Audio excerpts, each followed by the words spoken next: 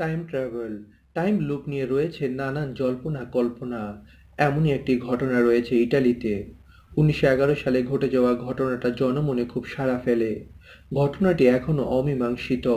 ঊনবিংশ শতাব্দীর দিকে ইতালির রেলওয়ে কোম্পানির খুব প্রসার ঘটে। শিল্প বিপ্লবের সময় রেলপথ একটি গুরুত্বপূর্ণ মাধ্যম হয়ে দাঁড়ায়।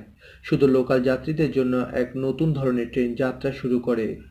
চোদ্দই জুন দুপুরে প্রায় একশো জন যাত্রী ও ছয়জন ক্রু নিয়ে ট্রেনটি যাত্রা শুরু করে। গন্তব্য কাছের একটি রেল স্টেশন যাত্রা শুরুর পূর্বে তারা কেউ জানতেন না যে তারা এমন একটি যাত্রায় বের হয়েছেন যার না আছে কোনো গন্তব্যস্থল, না আছে কোনো শেষ। গন্তব্যে পৌঁছানোর জন্য পর্বতের বুক ছেড়ে তৈরি এক কিলোমিটার টানেলের মধ্য দিয়ে যেতে হতো।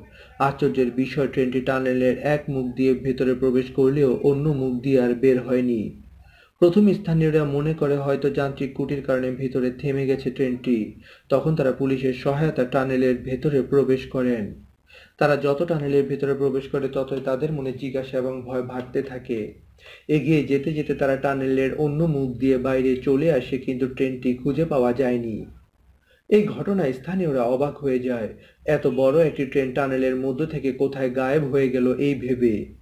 কিছু সময় পর রোমান রেলওয়ে অফিসে দুজন মানুষ এলো খুব আহত অবস্থায়। তারা জানায়, টানেলে ঢোকার আগে ট্রেন থেকে লাভ দেন, কারণ তাদের অন্যরকম অনুভূতি হচ্ছিল। তাদের শরীর ঘামতে শুরু করে, হার্টবিট খুব বেড়ে যায়, সহ্য করতে না পেরে ট্রেন থেকে লাভ দেন। তবে লাভ দেওয়ার আগে টানেলের মুখে সাদা ধোয়ার মতো কিছু দেখেছেন তারা। ওই দুই যাত্রীর বয়ান রহস্যময় ঘটনাতে নতুন মোড় দেয় এবং আরও রহস্যজনক করে তোলে। এই ঘটনার পুনরাবৃত্তি যেন না হয়, তার জন্য টানেলটির দুই মুখ বন্ধ করে দেওয়া হয়। এরপর ঘটনাটি ধামাচাপা পড়ে যায়, মানুষ ধীরে ধীরে ভুলে যায়। কিন্তু উনিশশো ছাব্বিশ সালে হারিয়ে যাওয়াদের মধ্যে একজন যাত্রীর আত্মীয় পুরনো নথিপত্র ঘেটে এমন একটি ঘটনা উল্লেখ করলেন যা শুনে সবাই চমকে যায়।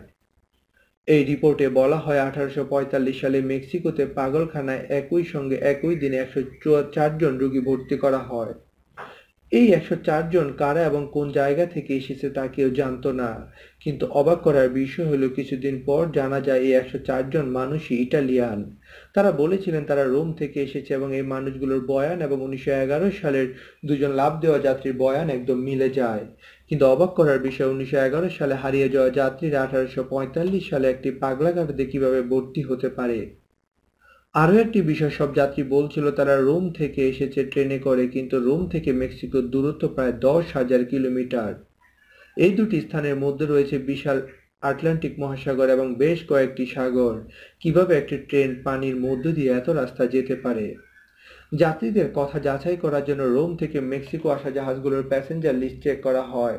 কিন্তু সেখানে কোনো যাত্রীর নাম নথিপত্রে ছিল না। তাহলে ওই পাগলা গারদে একই ভাষায় কথা বলা, একই দিনে ভর্তি হওয়া, একই দেশের একজন চারজন মানুষ এলেন কীভাবে? এই ইটালীয় মানুষগুলোর মধ্যে একজনের কাছ থেকে একটা টেবকো বাক্স পাওয়া যায়, যার উপর কোম্পানির নামের সঙ্গে উনিশশো সাত সাল লেখা ছিল। ওই বক্সটিও আজও মেক্সিকোতে রাখা আছে। ট্রেনটি ওই টানেল থেকে কোথাও উধাও হয়ে গিয়েছিল তা আজও রহস্য। কিন্তু এই ট্রেনটি কয়েকবার রাশিয়া, রোমানিয়া ইটালির কয়েকটি স্থানে দেখা গিয়েছে। সমস্ত প্রত্যক্ষদর্শীদের কথা জানা গেছে, তারা যে ট্রেনটি দেখেছে তা হঠাৎ করে তাদের সামনে এসেছিল, আবার গায়েব হয়ে গিয়েছিল।